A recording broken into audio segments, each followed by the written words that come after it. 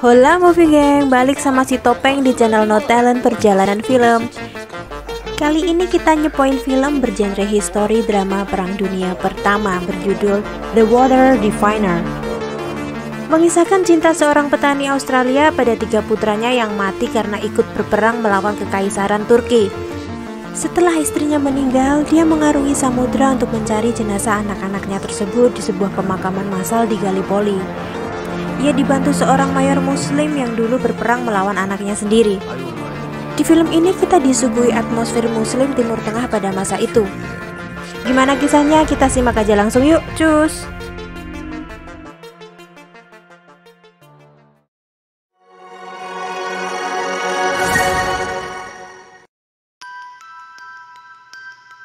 20 Desember 1915 di Gallipoli, Turki. Mayor Hasan sedang mempersiapkan diri untuk melanjutkan memimpin perang melawan pasukan Anzac, yaitu gabungan pasukan Australia dengan New Zealand. Di tengah panas terik siang itu, Mayor Hasan mengomando pasukannya untuk maju berperang. Musuh mereka sudah mulai menembak dari parit yang telah mereka buat. Namun ketika pasukan Turki itu telah mencapai parit, mereka hanya menemukan jebakan tembak dan pasukan Anzak telah berlayar meninggalkan Turki. Kemudian mereka mengibarkan bendera untuk merayakan kemenangan mereka. Empat tahun telah berlalu. Jauh di benua Australia, Joshua Connor seorang petani dan pencari sumber air nampak sedang melakukan dosing untuk mencari sumber mata air di tanah Australia yang sangat gersang. Setelah menemukannya, dia mulai menggali hingga akhirnya air pun menyembur keluar ke permukaan. Kemudian dia kembali pulang. Di rumah dia mendapati istrinya yang bernama Elizabeth sedang membersihkan sepatu anak-anak mereka. Elizabeth mengatakan jika anak-anaknya telah menunggu Joshua untuk membacakan buku cerita favorit mereka. Meskipun tidak setuju, Joshua tetap membacakan buku cerita favorit putra-putranya itu tentang Prince Hussein. Namun pemandangan tak lazim kala itu. Tempat tidur anak-anak mereka kosong. Hanya Joshua sendiri yang duduk di kamar itu. Beberapa saat kemudian, Joshua duduk menemani istrinya. Ia melihat buku harian peninggalan putranya yang dikirim oleh pihak militer setelah anak-anak mereka tewas berperang 4 tahun lalu di Turki. Joshua memberitahu istrinya jika ia berhasil menemukan mata air pada hari itu. Namun Alice yang sedih itu justru mengatakan dengan berlinang air mata jika Joshua pandai menemukan air namun dia tidak mampu menemukan anak-anak mereka. Joshua membuka buku harian anaknya tersebut. Lalu ia menangkap bayangan cerita dalam buku itu menjadi hidup di pikirannya, peperangan yang dilalui oleh anak-anaknya kala itu. Ia juga mengingat pada hari ketika putra-putranya hendak pergi berperang. Kala itu, Arthur sedang memperbaiki kincir angin bersama Joshua. Ayahnya berkata pada Arthur agar selalu menjaga kedua adiknya yang bernama Henry dan Edward. Beberapa saat kemudian Alice mendatanginya dan mengusap air mata Joshua, dan Joshua pun tertidur. Esok paginya Joshua terbangun dan tidak menemukan istrinya di dalam rumah. Dia berlari di mana anjingnya menyalak pada sebuah kolam tak jauh dari rumahnya. Ya, Elizabeth tewas bunuh diri di sana semalam ketika Joshua tertidur. Dia segera memeluk jasad istrinya yang telah tak bernyawa dan berteriak menangis. Beberapa saat kemudian, Joshua sedang duduk di gereja meminta pendeta untuk menguburkan mayat istrinya namun pendeta menolaknya karena kematian istrinya disebabkan bunuh diri. Setelah berkompromi, akhirnya pendeta itu setuju dengan syarat Joshua harus menyumbangkan gerobaknya untuk gereja. Setelah pendeta selesai mendoakan Elis, Joshua segera menguburnya dan berjanji pada jasad istrinya jika ia akan membawa kembali anak-anak mereka pulang dan menguburkannya di samping Elis. Di sinilah perjalanan Joshua mencari anaknya dimulai. Di tempat berbeda, Mayor Hasan dan Sersan Jemal sedang dikawal Sersan Tucker dari Inggris menuju Gallipoli untuk bertemu dengan Letkol Hughes. Setelah Perang Dunia Pertama usai, kini Inggris dan Turki telah berdamai. Inggris kembali ke medan tempur itu untuk mengidentifikasi mayat-mayat prajurit Anzak yang telah tewas di sana empat tahun yang lalu, dan kedatangan Mayor Hasan karena dimintai tolong Letnan Hughes untuk membantu mereka mencari mayat-mayat tersebut. Karena Mayor Hasan kala itu ia memimpin peperangan, di mana di wilayah Gallipoli itu terdapat ribuan mayat prajurit Anzak dan juga Turki. Kembali pada Joshua, ia sedang dalam perjalanannya dengan kapal. Ia membaca lagi buku harian anaknya. Flashback ketika waktu mereka masih kecil dulu, badai pasir sudah terlihat dari rumah mereka. Namun, ketiga anak mereka tidak terlihat di sana. Anak-anak itu sedang berburu kelinci di gurun. Joshua bergegas mencari anak-anaknya itu. Tepat sebelum badai menghalangi pandangan mereka, Joshua telah datang menyelamatkan dan membimbing mereka bertiga untuk pulang. Tibalah Joshua di Istanbul, Turki. Seorang bocah sudah menunggunya dan menawarinya sebuah hotel. Joshua menolak tawaran itu, namun bocah itu terus memaksa dan mengikuti ke mana pun Joshua melangkah. Joshua bertanya pada seorang prajurit Inggris bagaimana dia bisa ke Gallipoli. Prajurit itu menjawab jika Joshua membutuhkan surat izin untuk masuk ke wilayah itu. Tanpa pengetahuan Joshua, bocah itu telah membawa tasnya pergi. Dengan kesal, Joshua mengejar bocah itu hingga akhirnya sampai pada hotel yang dimaksudkan. Joshua memasuki hotel tersebut dan disambut Aisyah, ibu dari bocah tadi yang bernama Orhan. Setelah mengetahui Joshua dari Australia, secara tiba-tiba Aisyah mengatakan jika kamarnya telah penuh. Saat itu paman Orhan yang bernama Omer datang dan mengatakan jika masih tersedia kamar untuk Joshua. Orhan mengantar Joshua menuju kamarnya. Sebelum masuk, Joshua menawari Orhan untuk mengantarkannya ke kantor peperangan dan ia akan memberikannya imbalan. Orhan pun menyetujuinya dengan senang hati. Joshua sedang membaca peta ketika Aisyah datang membawakannya handuk. Saat itu azan berkumandang. Joshua mengira bahwa itu merupakan penjual keliling. Aisyah menjelaskan jika itu adalah suara pengingat untuk beribadah para umat muslim di sana. Aisyah juga mengatakan tentang keindahan negaranya. Masjid dengan kubah yang besar dan tempat biasanya wisatawan datang untuk mencari Tuhan. Joshua mengatakan jika kedatangannya tidak untuk hal tersebut, melainkan pergi ke Gallipoli, Mendengar itu Aisyah menjadi tertegun dan mengatakan jika ia tidak mengizinkan Orhan untuk mengantarkannya esok. Aisyah adalah seorang janda yang tinggal mati suaminya saat perang melawan pasukan Anzak, sehingga ia tidak menyukai Joshua yang berasal dari Australia itu. Esok harinya Joshua telah berada di kantor perang untuk meminta surat izin menuju wilayah Gallipoli, tetapi ia tidak berhasil. Dia mencoba menunjukkan foto ketiga putranya pada Kapten Charles. Lalu ia menjelaskan maksud kedatangannya ke Gallipoli hanya ingin mencari jenazah ketiga putranya saja. Tetapi Kapten Charles tetap tidak memberinya izin. Lalu bersama Orhan, Joshua diajak berkeliling kota tersebut. Joshua sangat kagum dengan keindahan sebuah masjid yang sungguh besar dengan arsitektur khas Timur Tengah yang begitu mempesona indahnya. Sesampai di hotel, Aisyah begitu kecewa dengan Orhan yang mengantarkan Joshua. Aisyah meminta Orhan mengembalikan upahnya, namun Joshua mengatakan pada Orhan jika ia dapat menyimpannya dan merahasiakannya dari ibunya. Esok harinya ketika Aisyah menyiapkan sarapan untuk Joshua, ayah Aisyah mendekati dan berbicara dengan Joshua. Pria tua itu berbicara menggunakan bahasa Turki, sehingga Joshua nampak kebingungan. Kemudian Aisyah menerjemahkan jika ayahnya menanyakan di mana istrinya. Dengan tertunduk, Joshua menjawab jika istrinya telah meninggal dan juga ketika anaknya yang tewas dalam perang di Gallipoli. Mendengar itu, kini Aisyah mulai bersimpati dengan nasib Joshua yang lebih naas daripada nasibnya. Aisyah lalu memberitahunya jika ia dapat ke Gallipoli tanpa surat izin dan menyewa nelayan lokal untuk mengantarkannya melewati jalur laut. Paginya sebelum berangkat, Orhan memberi Joshua sebuah foto ayahnya yang hilang di Gallipoli dan memintanya untuk mencari ayahnya tersebut. Joshua hanya tertegun ternyata Omer bukanlah ayahnya melainkan pamannya, kakak dari suami Aisyah. Sins berpindah saat prajurit Inggris sedang menggali jasad di atas bukit Gallipoli. Saat itu terlihat kedatangan Joshua dari jauh. Kini Joshua telah berhasil mencapai bibir pantai.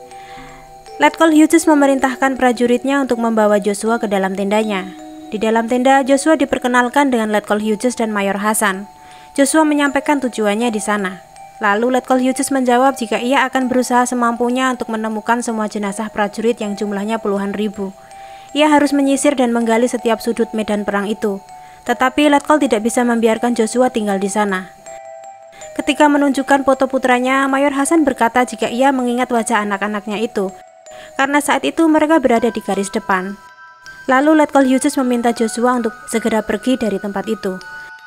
Namun bukannya pergi, Joshua justru berkemping di pantai dan masih bersikeras mencari jenazah anaknya. Esok harinya, Kapten Hughes, Mayor Hasan, dan Sersan Jemal membicarakan mengenai Joshua. Mayor Hasan mengatakan jika ia ingin membantu Joshua mencari anaknya dengan alasan jika di antara ribuan prajurit itu hanya Joshua seorang dirilah yang datang melintas benua untuk mencari anaknya. Dia merasa kasihan dengan Joshua. Akhirnya rencana mereka sedikit berubah. Mereka sedang menuju tempat di mana putra Joshua meninggal. Dalam perjalanan Joshua bertanya pada prajurit di sebelahnya siapa orang Turki itu. Prajurit itu menjawab jika ia adalah Mayor Hasan yang telah membunuh setengah pasukan batalion mereka saat berperang dulu, dan ada kemungkinan jika Mayor Hasanlah yang telah membunuh anak-anak Joshua. Mereka sedang mulai menyisir dan menggali tanah di medan itu yang disebutkan oleh Mayor Hasan. Joshua terjun dengan buku diary milik anaknya. Terlintas bayangan-bayangan perpindahan anaknya dari buku diary itu. Saat itu peperangan sedang membabi buta. Arthur terluka dan tidak dapat melanjutkan peperangan. Dia terkapar di medan penuh hujanan peluru. Kedua adiknya yang bernama Henry dan Edward tidak mau meninggalkan Arthur meskipun Arthur sudah menyuruh mereka berdua untuk menyelamatkan diri. Kedua adiknya justru maju mendekati Arthur hendak membawanya, namun malang, Henry tertembak di kepalanya. Dan seketika itu juga tewas. Sedangkan Edward terkena luka tembak di perutnya, sehingga ia pendarahan selama berjam-jam lamanya. Di dalam buku itu dikatakan jika Arthur yang hancur hatinya putus asa tak mampu menolong adik-adiknya itu. Setelah beberapa langkah mengikuti bayangan-bayangan itu, Joshua dengan percaya diri menancapkan sebuah ranting pohon. Sang pencari sumber air itu dengan cepat dapat menemukan letak jasad putra-putranya. Setelah menggali, ternyata dugaan Joshua benar.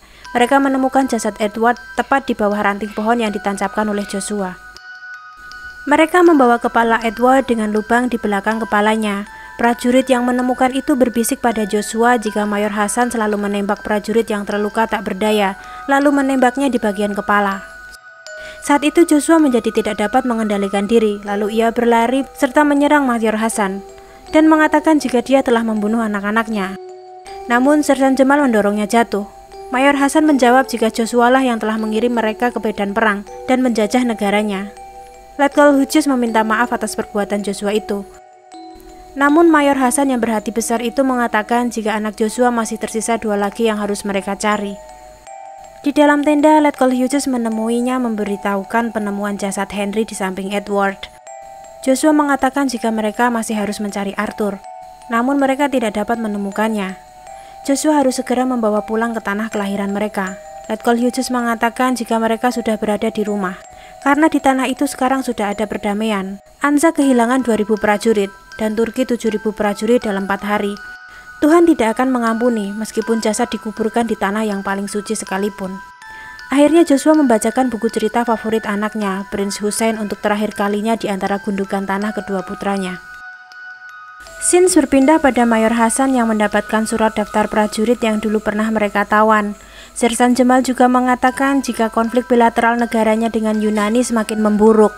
Prajurit Yunani telah menyerang wilayah mereka. Mayor Hasan menemui Joshua di tendanya. Joshua langsung meminta maaf atas sikapnya tadi.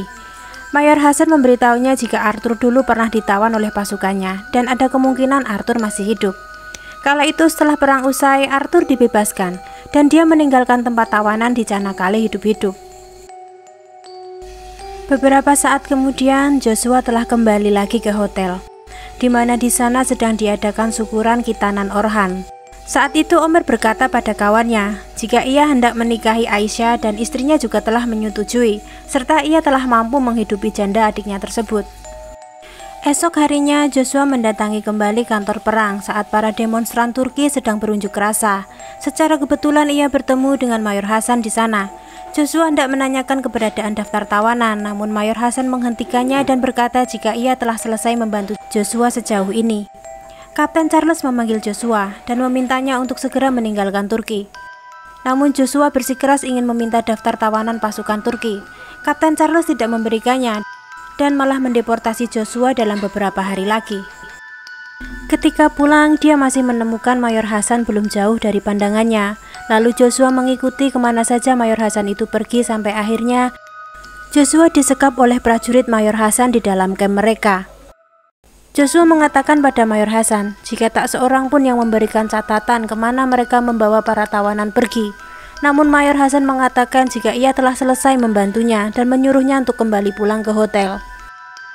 Di hotel, Joshua sedang bermain dengan Orhan di halaman belakang. Aisyah mengamati mereka bersama temannya yang bernama Natalie. Natalie menggodanya dengan mengatakan jika Joshua merupakan pria yang tampan serta kuat. Namun Aisyah malu-malu menjawab, jika ia tidak memikirkan pria lain karena dia telah menikah. Orhan masuk dan meminta izin agar Joshua bisa datang bersama mereka di acara penadahan. Karena tak ingin membuat Orhan kecewa, Aisyah mengatakan jika Joshua boleh ikut, tetapi harus menjaga jarak beberapa meter di belakang mereka agar tidak mendapatkan fitnah. Beberapa saat kemudian mereka berjalan-jalan sekeliling kota lalu beristirahat di sebuah kolam.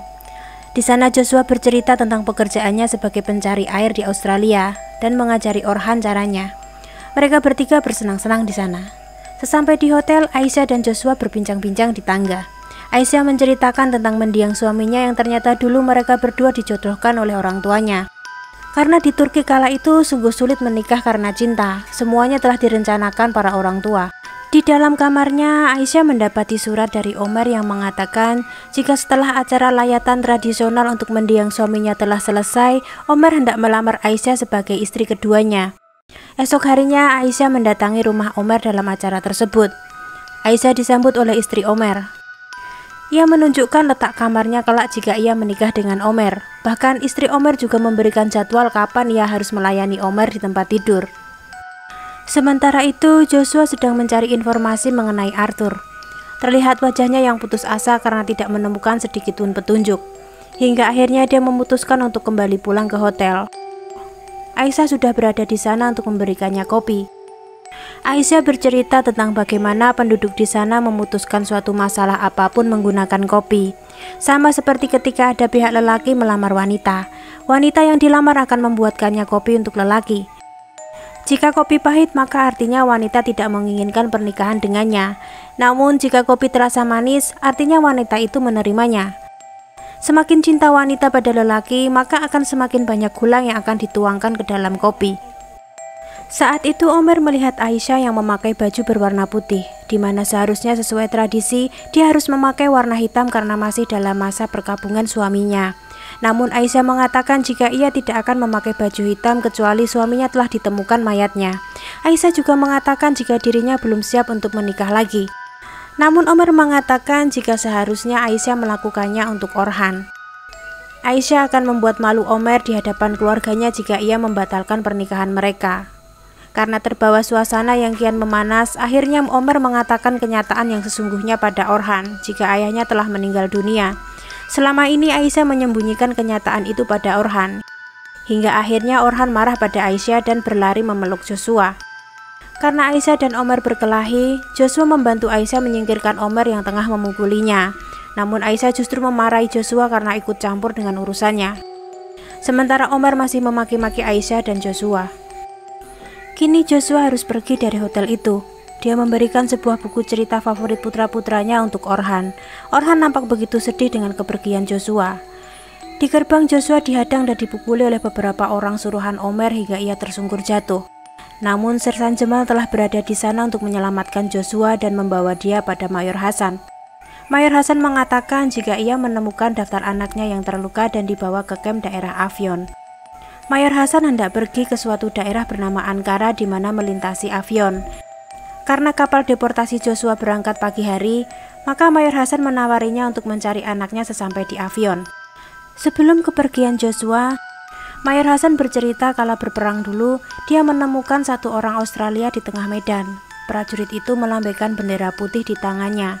Ia membawa banyak senjata yang diambil dari para prajurit yang telah tewas. Ia menemui Mayor Hasan dan berbagi rokok dengannya. Namun ketika orang itu berpamitan, beberapa saat kemudian Mayor Hasan baru tersadar jika rokok dan pematiknya telah dicuri orang itu. Mereka berdua pun tertawa layaknya sahabat tanpa sebuah perbedaan, sepasang teman yang sama di mata Tuhan.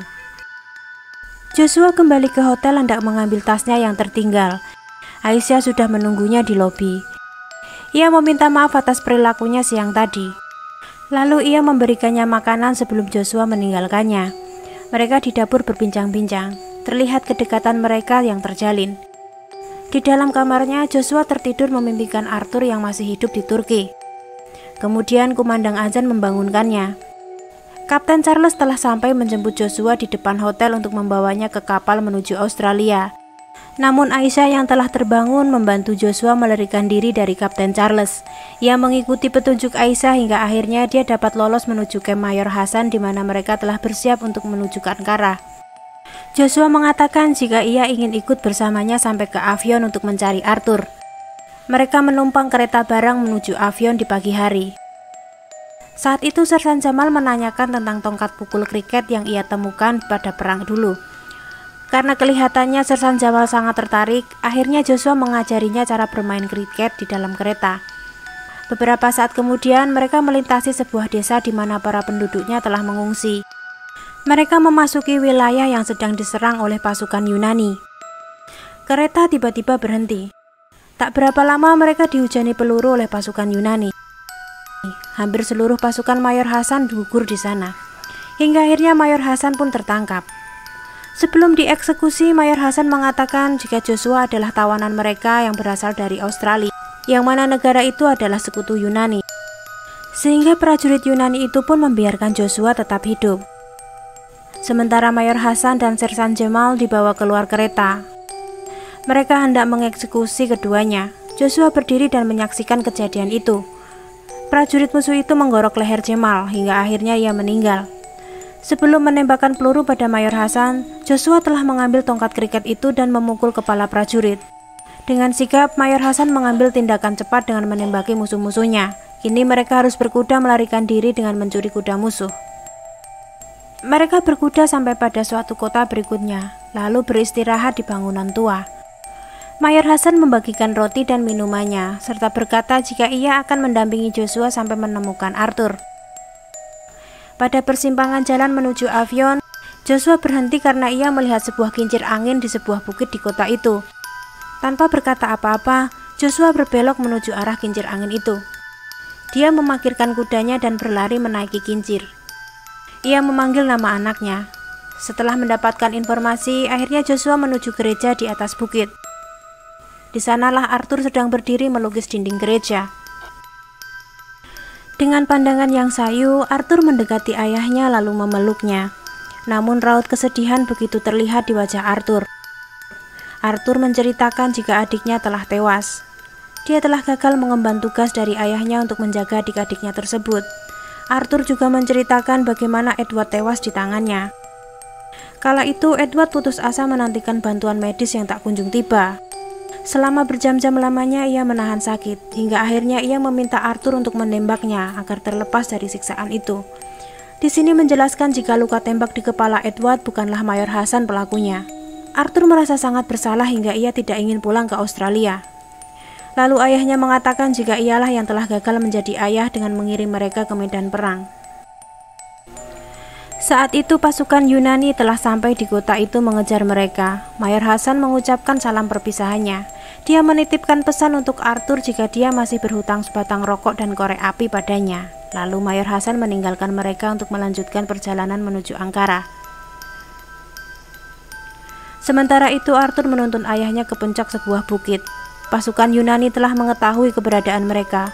Arthur menunjukkan sebuah sumur di mana di bawah sumur itu adalah aliran sungai untuk meloloskan diri. Arthur meminta ayahnya untuk segera masuk karena pasukan Yunani sudah dekat. Namun Joshua mengatakan jika ia tidak memiliki tujuan lain setelah ibu Arthur dan adik-adiknya meninggal, sehingga ia tidak akan meninggalkan tempat itu. Ia lebih baik mati bersama anaknya atau meloloskan diri dan hidup bersama anaknya kembali. Terlihat senyuman di wajah Arthur yang kini telah sadar betapa ayahnya sangat mencintainya. Lalu mereka berdua akhirnya melompat ke dalam sumur itu dan berhasil meloloskan diri. Tiga minggu kemudian mereka telah berada di Istanbul. Joshua sedang menemani Arthur mencukur jenggot dan merapikan rambutnya. Lalu mereka menuju ke Hotel Orhan. Orhan yang melihat kedatangan Joshua langsung melompat dan memeluknya. Lalu Natalie menunjukkan Joshua di mana Aisyah tengah berada di dapur sedang melayani para tamu. Joshua duduk di kursi saat tatapan matanya bertemu dengan Aisyah. Kemudian Aisyah melanjutkan membuat kopi. Dia memberikan Joshua secangkir kopi. Joshua bertanya apakah dia menerimanya di sana. Aisyah menjawab jika ia menerima siapa pun di hotel itu dan mengatakan bahwa semua jawaban berada di kopinya. Kemudian Aisyah berlalu untuk melayani tamu lainnya. Joshua mengambil cangkir kopi itu dan mengaduk kopi yang begitu banyak gula di dalamnya. Lalu ia berdiri memandang Aisyah yang memperhatikannya dengan senyum yang sangat lebar. cerita pun berakhir. Terima kasih sudah bergabung di perjalanan film. Semoga kita dapat mengambil hikmah dan semoga kalian terhibur ya. Nantikan kisah-kisah perjalanan film selanjutnya yang tak kalah seru. I'll see you guys in the next one. Bye bye.